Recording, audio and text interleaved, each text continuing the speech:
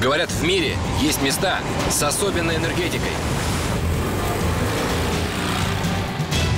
Меня зовут Денис Гребенюк. Я путешествую по свету в поисках мест, которые принято считать энергетическими центрами нашей планеты. Места силы – это не те, что красуются в туристических буклетах.